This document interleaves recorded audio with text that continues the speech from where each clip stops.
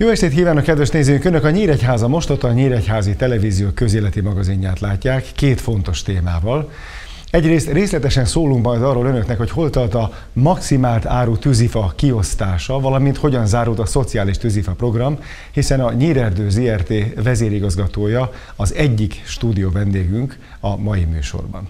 A másik pedig csak képletesen fogalmazva igaz, hiszen mi sétáltunk át a Városházára, nemrégiben ugyanis, március végén újra ülésezett Nyíregyháza megyőgúváros közgyűlése, és egyrészt a közgyűlésen magán is voltak fontos döntések, másrészt pedig olyan elismerések is érkeztek Nyíregyházára, amik miatt mindenképpen kíváncsiak voltunk dr. Kovács Ferenc polgármester úr véleményére, úgyhogy elsőként polgármester interjú következik.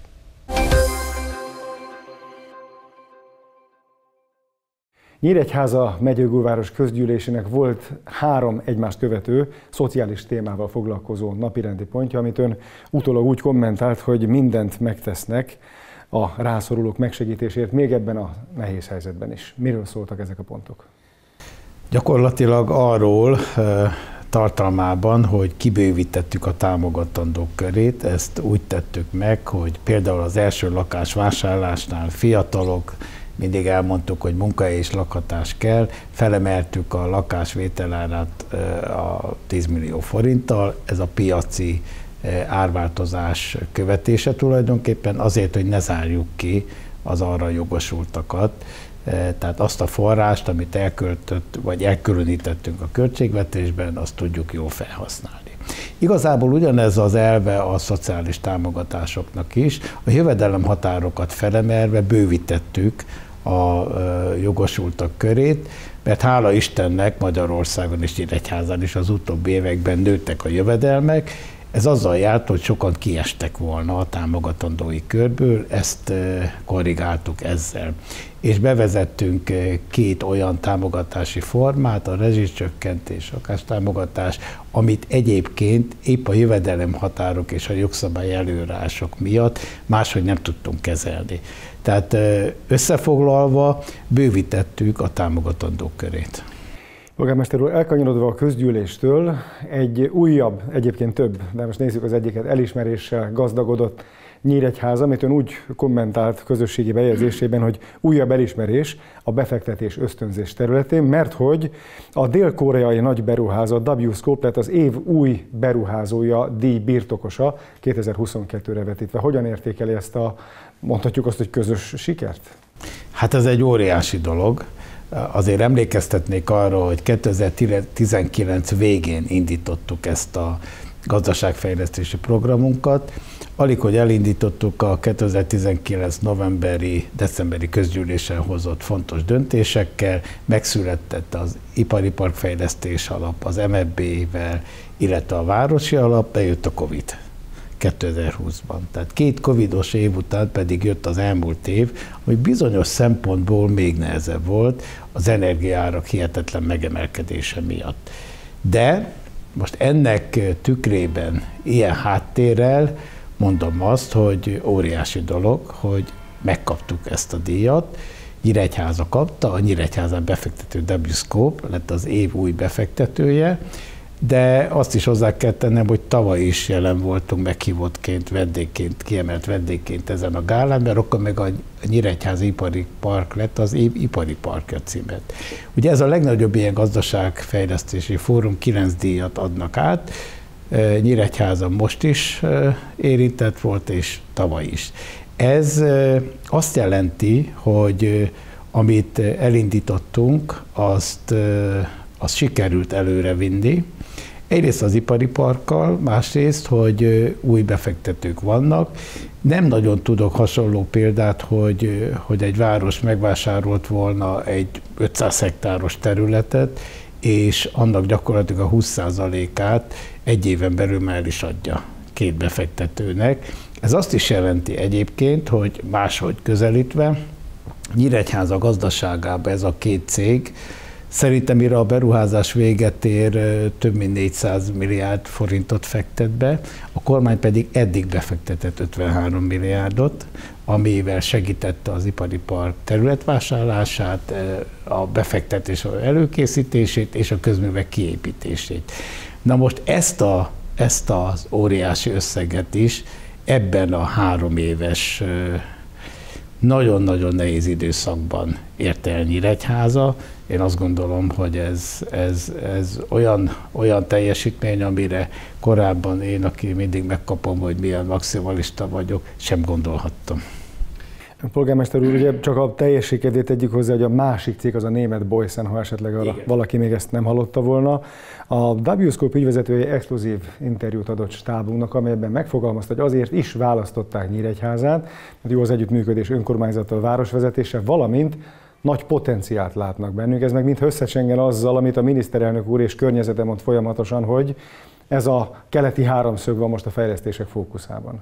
Hát én, eh, hogy mondja, viccesen azt tudom erre mondani, hogy hát elértük azt, hogy felfedezett bennünket a magyar kormány, és kiemelten fejlesztendő területnek eh, jelöl, most már a miniszterelnök úr ebbe az évben kétszer, de hát olyan világcégek, világszínvonalú működő cégek is, mint például a WScope, aki, aki az első gyárát Európában Nyíregyházán építi, és hát egy nagyon-nagyon fejlett technológia, magas színvonal, tehát itt vannak elképesztő egyébként a nyíregyházi képviselők, akik ilyen drótokat összerakva így, így gondolják, az összeszerelő üzemként titulálják.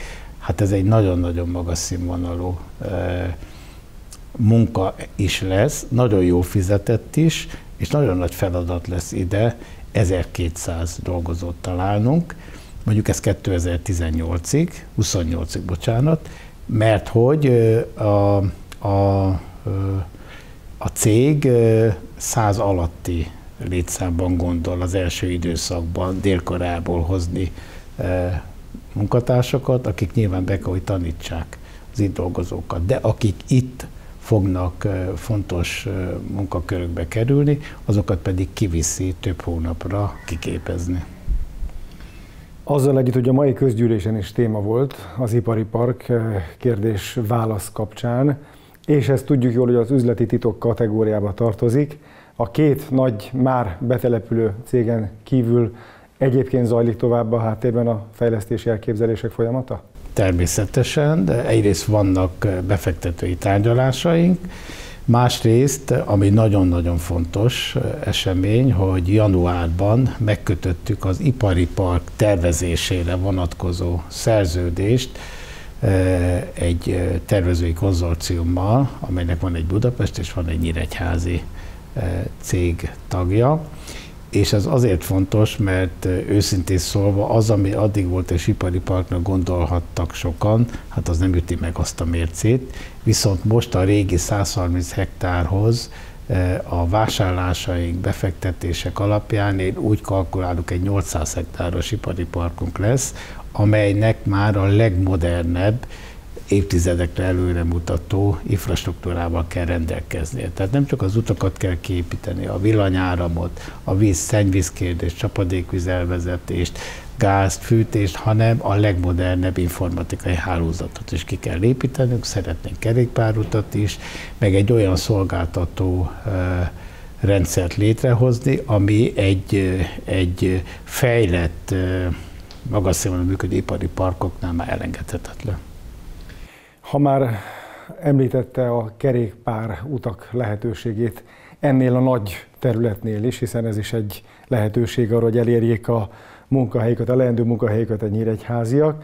Ezért már folyamatosan kapja az elismeréseket Nyíregyházi önkormányzat. Most sorozatban harmadszor lett kerékpáros barát település, épp a napokban kaptuk meg az díjat. Igen, de már az elmúlt tíz évben hatszor kaptunk díjat, ha jól számolom, és hát ez nem véletlen, tehát azért az elmúlt 12 évben kiépült egy 80 kilométeres kerékpárút hálózat. Nem csak a mennyiség imponáló, hanem a, a minőség is, a színvonal, tehát most már évek óta tudunk bringaváros programokat szervezni, mert hogy az összes városrészből be lehet jönni a központba, és ugye össze is vannak kötve. Másik probléma volt, hogy hiányzott több száz méteres vagy egy kilométeres szakasz, ezt már sikerült megoldani, nagyon örülök, hogy ennyien használják, ugye itt a munkába járásnál is sokan használják, a ö, mindennapi közlekedésben is, és hát a turizmusban is ez egy nagy lehetőség.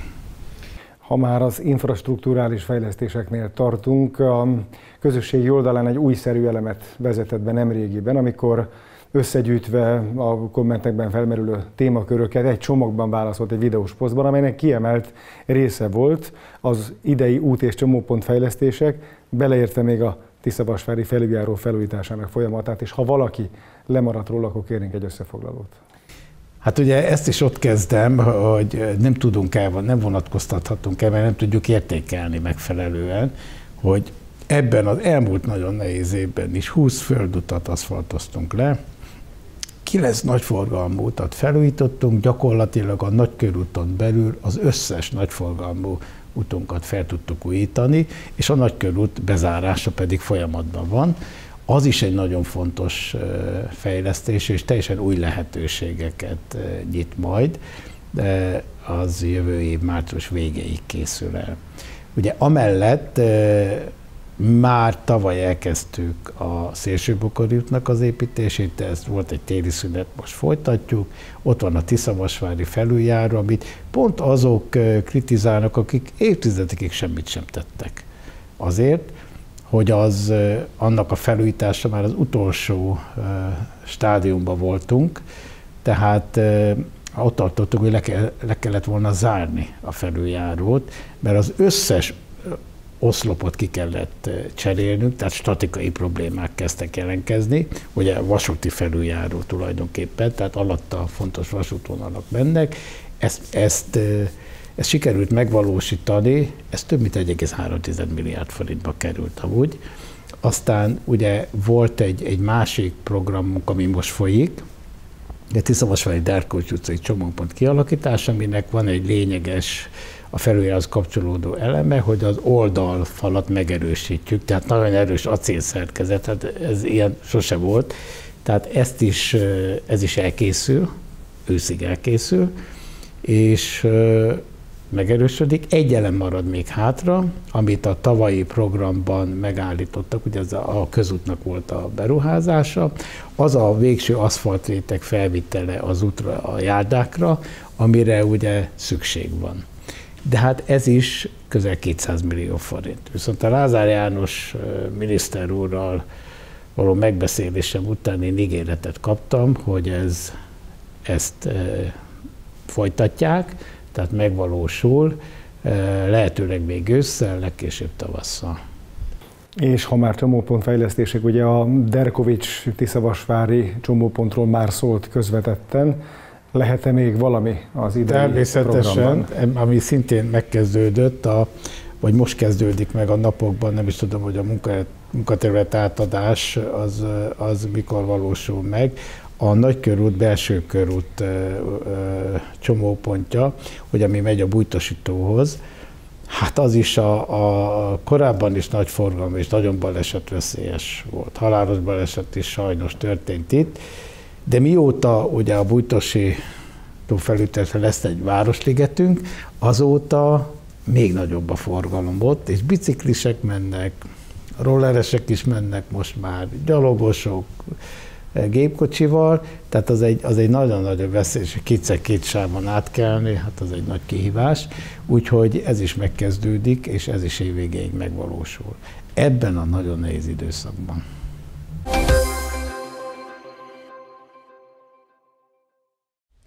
Kedves nézőink, rendszeresen megjelennek a Városkép Nonprofit Kft. valamely felületén a Nyírerdő ZRT-vel kapcsolatos hírek, akár a nyíregyháza.hu városi webportálon, vagy a Nyíregyházi naplóban, de a Nyíregyházi televízió kamerával is szívesen megyünk a Sóstói erdőbe egy-egy erdőfelújításról forgatni, például. De természetesen legutóbb a szociális tűzifa és a maximált áru tűzifa kapcsán kerültek a hírekbe a Nyírerdő ZRT-nek az erdészetei. Amelynek, bármint az egész szervezetnek új vezérigazgatója van, viszonylag, hiszen tavaly össze nevezték ki, Hidas Tibor személyében. Jó estét kívánok, vezérigazgató Jó estét kívánok. Csak most kicsit utólagosan, de gratulálunk a kinevezéséhez. Köszönöm szépen. Ha már a szociális tűzifa volt a felütés, április van lassan vége a fűtési szezonnak, megnyugtatóan zárult ele önöknél ez az újabb időszak. Igen, a szociális tűzifa programot február 15-ig kellett teljesítenünk. A két megyében összesen majdnem 44 ezer köbméter tűzifát adtunk át az önkormányzatoknak, ez Szabolcs megyében 151 települést jelent. Hogy érzékeltessük, hogy ez a 44 ezer köbméter mit jelent, hogyha egy tűzifa salangot, ami ugye 1 méterszer, 1 méterszer, 1,70 magasságban kidapjuk a tűzifát, és ez jelent egy köbmétert, egy ilyen csalangból a Nyíregyháza táblától a négyesen a Debrecen tábláig tudnánk végiglakni tűzifával az utat. Ez a, ez a nagyságrendje ennek a szociális uh, tűzifának. Ami még uh, ezt is meghaladja, és jelenleg is tart ez a maximált áldó tűzifa program. Ez a családonként, háztartásonként 10 köbméter tűzifát szolgálunk ki a lakosságnak maximált áron. Ebben a két megyében 118 ezer köbméter igény jelentkezett eddig. A ez döntően kemény lombos tűzifa, tehát akác, tölgy, kőris tűzifát jelent. A 64 ezer köbmétert sikerült már kiszolgálnunk a lakosok felé, és további 54 ezeret még augusztus 1-ig, ha augusztus közepéig remélhetően kiszolgálunk. Igen, mert amikor beütött ez a szankciós energiaválság, és eljött a fűtési szezon, és megszületett ez a kormányzati döntés, akkor szó szerint megrohanták önöket. Mennyire lehetett erre fölkészülni, vagy ezt szakaszosan, megnyugtatóan teljesíteni. Így van, megzuhantak minket, egy kicsit át kellett állítani, főleg az értékesítési rendszerünket, hiszen korábban döntően viszont eladóknak adtuk el a fát, akik a tüzépeket, fatelepeket ellátták. Innentől viszont a magánszemélyekkel vettük fel a kapcsolatot, illetve ők jelentkeztek nálunk, felvettük az előjegyzéseket, hirtelen nem volt annyi fánk, hogy teljesítsük a programot. Sőt, azt is meg kell mondanom, hogy néhány ezer köbméteres nagyságrendben a Dunántúlról, illetve az északi középhegységből is érkezett hozzánk társ erdőgazdaságoktól tűzifa. Most már az úgy kialakult a rendszere, a kollégáink felveszik a rendelést, visszaigazolják, visszahívják azokat, akik soron következnek, befizetik a pénzt a állampolgárok is elvihetik a tűzifát, hangsúlyozom, hogy ők viszik el, tehát nekik kell a fuvarról gondoskodni, Nagyjából most azért látszik, hogy akik még most következnek, már nem a mögöttünk álló fűtési szezonra, meg nem is biztos a következő, mert azután következőre is vásárolnak tűzifát, tartalékolnak az emberek, de hát ez a környezetben érthető. A félmondatos kitérője, hogy más erdészetektől is érkezett szociális tűzi, vagy ki tudják elégíteni a mennyiséget, fölveti a kérdést, hogy mekkora plusz terhet jelentette ez az erdőgazdaságnak, illetve egyáltalán a magyarországi erdőgazdaságnak, másképpen kérdezve, van erre elég fa? Van. A plusz tehát inkább úgy mondanám, hogy erre nem voltunk olyan szinten felkészülve, mi a program meghirdetését megelőzően is értékesítettünk tűzifát. Tehát mi folyamatosan elláttuk a lakosságot, nem volt betárolva olyan hatalmas készlet, hogy ezt azonnal ki tudjuk elégíteni. Ezek az átszállítások lassan megszűnnek, tehát a továbbiakban a saját termelésű tűzifánkat fogjuk értékesíteni a lakosság felé, és a nyíredő van olyan erős, hogy ezt tudja teljesíteni. A, a fa az erdőben rendelkezésre áll, semmiféle plusz uh, vágásbesorolást, vagy uh, plusz erdők levágását azért nem kellett megtennünk, hogy ezt teljesítsük, itt csak az időbeliség. Tehát azonnal nem áll rendelkezésre 120 ezer köbméter tűzifa, azt le kell termelni, lakodóra kell vinni, ki kell szállítani 10 köbméterenként a lakosságnak, tehát ez egy időben elhúzódó folyamat de mint minden állami erdőgazdaság, a Nyíredő ZRT is üzemtervek szerint gazdálkodik, tartamosan gazdálkodik, tehát a tűzifa mennyisége az erdőterületeinken adott. Amikor arról beszéltünk, hogy maximált áru, ugye ez egy új fogalom volt, de a szociális tűzifa programot önök nagyon régóta futtatják, mint hogy ennek egyébként van egy nyíregyházi verzió is. Önök viszont nem egy, hanem két megyében gondolkodnak, hogy minden kedves néző mi ez, hogy szociális tűzifa? Ezt a programot a kormány 2011-ben indította, a Nyíredő ZRT azóta vesz részt benne. Az 5000 főnél kisebb lakosság számú települések pályázhatnak a belügyminisztériumnál támogatásra, és az ott megítélt tűzifa mennyiséget erdőgazdálkodóktól megvásárolhatják. Az utóbbi években jellemzően a magán erdőgazdálkodóktól kevésbé, inkább az állami erdőgazdálkodótól veszi, veszik az önkormányzatok a tűzifát, és ennek a kiszolgálása zajlik a téli időszakban, tehát ez jellemzően szeptembertől februárig tart. Valóban két megye, 190 település körülbelül, és mondom, ilyen 40-45 ezer köbméter közötti nagyságrend. Azt, hogy tudatos és tervszerű erdőgazdálkodás folyik, az közvetetten az imént jelezte a, tűzifa kapcsán. De ennek egy újabb jele az, hogy néhány nappal ezelőtti hír, hogy önkénteseket vártak most már hagyományosan közös faültetésre ide a sóstói erdőbe. Csak azért, hogy lássuk a kivétel mellett a befektetést is, milyen nagyságrendről beszélünk, amikor azt mondjuk, hogy önök ültetnek? Igen, hát a állami erdőgazdálkodónk, meg egyébként is erdőgazdálkodóként nekünk kötelességünk, hogy ahol fát termelünk, illetve véghasználunk egy erdőt, azt fel kell újítsuk. Ennek lehet több módja, magdól, csemetéről, természetes úton sajról, de ez nyiledő szinten olyan 950 ezer hektár per év. Nem maradhat két évnél tovább felújítatlan vágásterület, mi azt szeretjük, hogy egy évig sem maradjon. Tehát a fakitermelés után azonnal megkezdjük a talajelőkészítéseket, és utána ősszel, illetve tavasszal tudunk ültetni.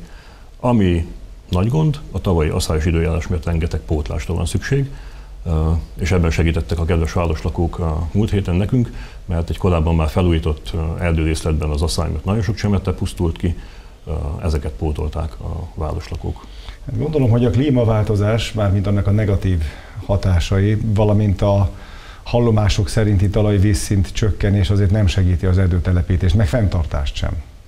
Nem, hát ezek olyan kihívások, amivel uh, meg kell birkózzunk, nagyon nehéz, uh, bevett uh, régi dolgokon túl kell lépnünk, uh, és a döntéseinkkel nem egy-két évre, hanem évtizedekre uh, hatunk az erdő tekintetében.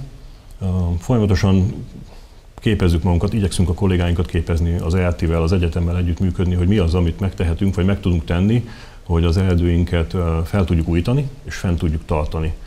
A furcsa módon nem csak a klímaváltozás, hanem a globalizáció is veszélyt jelent a magyar erdőkre, mert rengeteg olyan károsító érkezik, ami Ázsiában, Amerikában őshonos, itt nem ismert, és most például a tölgy, csipk és poloska az egy olyan jelenség, ami a őshonos tölgyeink megbetegítője, gyakorlatilag azt lehet látni, hogy augusztusra elbarnulnak az őshonos tölgyek levelei, mert olyan mennyiségben van itt a csipkés poloska.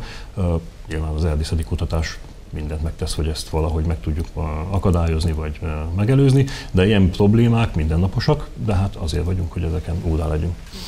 Egyébként, ha már erdőtelepítés, erre van egy kormányzati program is, ugye, hogy növelni kell az erdősültségét hazánknak. Így van. Ez egyébként szerintem egy nagyon szép erdész feladat, személy szerint nekem is a kedvencem, tehát egy erdőt megtervezni ott, ahol nem volt talaj, klíma tekintetében. Ez egy szép mérnöki munka, de mindenképpen a magyar kormány szeretné emelni az erdősültségét hazánknak, cél a 27%-os erdősültség elérése, Ebben pedig az állami erdőgazdaságok olyan módon vesznek részt, hogy van egy új szülöttek erdeje program, minden született gyermek után 10 fát elültetünk.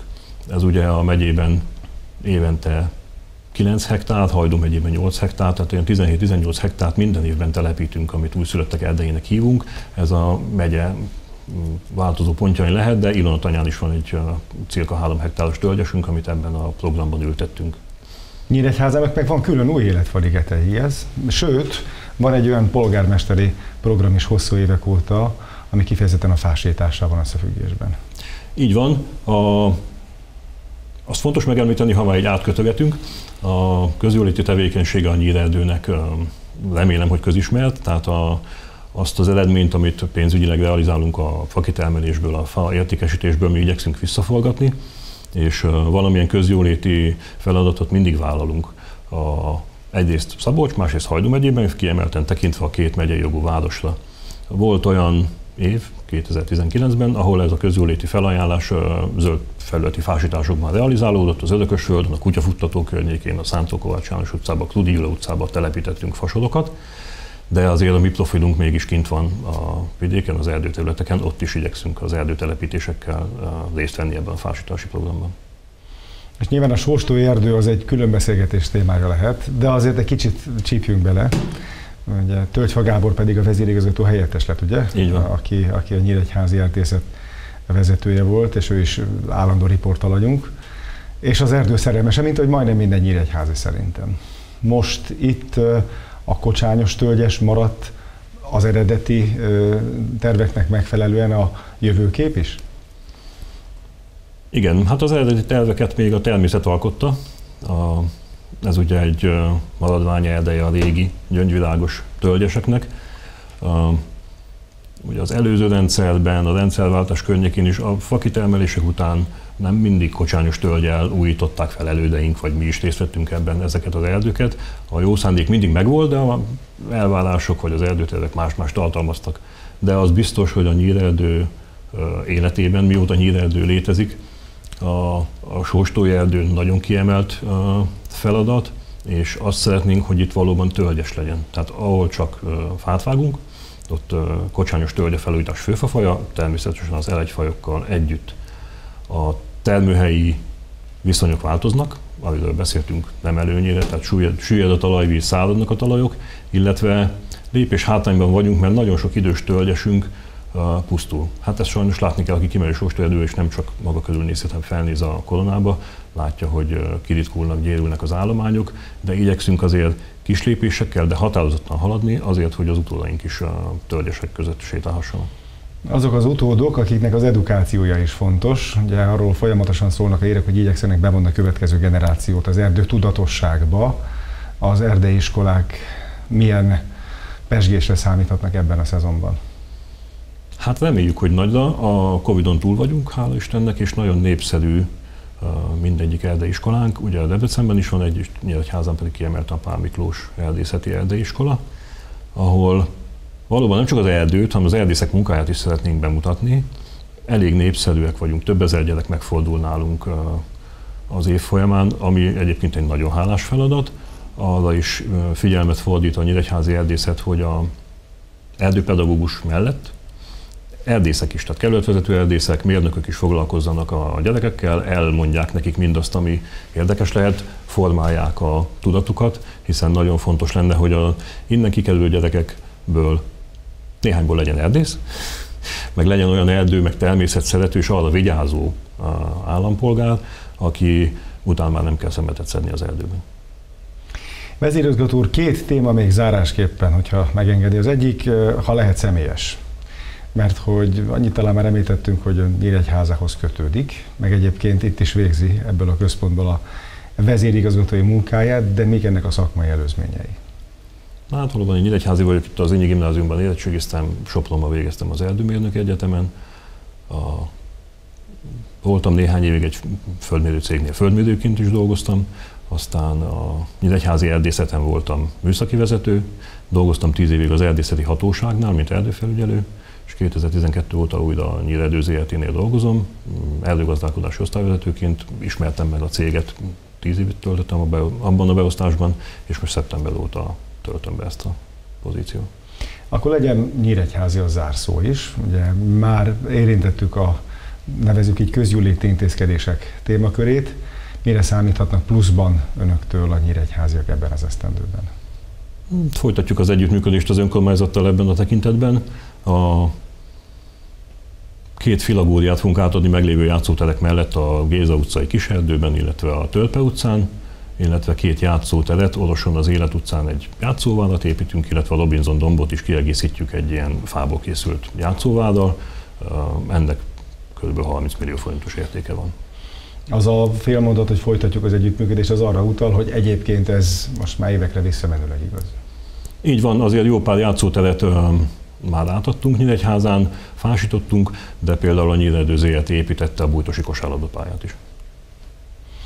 Sok ilyen gyümölcsöző együttműködést kívánok a továbbiakban, és köszönjük szépen. Köszönöm szépen.